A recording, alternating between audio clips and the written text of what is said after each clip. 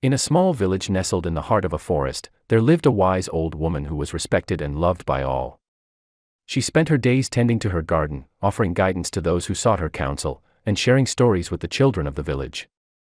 One day, a young girl approached the wise woman with tears in her eyes. My dear, said the wise woman, what troubles you so?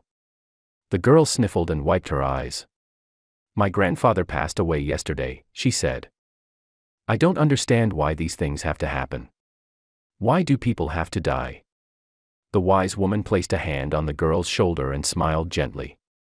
Let me tell you a story, she said. A story about the circle of life. The girl nodded, and the wise woman began her tale. Long ago, when the world was new, there was a great forest. In this forest, there lived many animals, each with its own unique gifts and strengths. Among these animals was a great bear, who was the strongest and fiercest of them all. The girl listened intently as the wise woman continued. One day, the great bear grew old and knew that his time on earth was coming to an end. He called all the animals of the forest together and spoke to them. My dear friends, he said, my time has come. But do not mourn me, for I have lived a long and full life. Instead, celebrate my life and remember me fondly. The wise woman paused for a moment, allowing the girl to take in the story. After the great bear passed away, the animals of the forest did as he had instructed. They celebrated his life and told stories of his strength and bravery. And in this way, the great bear lived on in their hearts and memories. The wise woman smiled at the girl. You see, my dear, everything in this world has a beginning and an end but that doesn't mean that it's gone forever. It lives on in the memories and stories that we share with one another. And in that way, it becomes a part of the circle of life.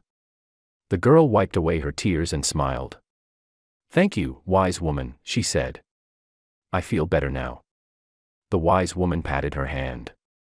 Remember, my dear, she said, life is a precious gift. We must cherish every moment and honor those who have come before us and in doing so, we become a part of the circle of life. From this story, we learn that death is a natural part of life, and that it is important to celebrate the lives of those who have passed away, rather than mourn their loss. The story also teaches us about the importance of memories and stories in keeping the memory of loved ones alive, and reminds us to cherish every moment we have with those we love. Additionally, the wise woman's message about the circle of life emphasizes the interconnectedness of all living things and the importance of honoring those who have come before us. Thank you for watching. May you have peace and prosperity, and may all your wishes come true.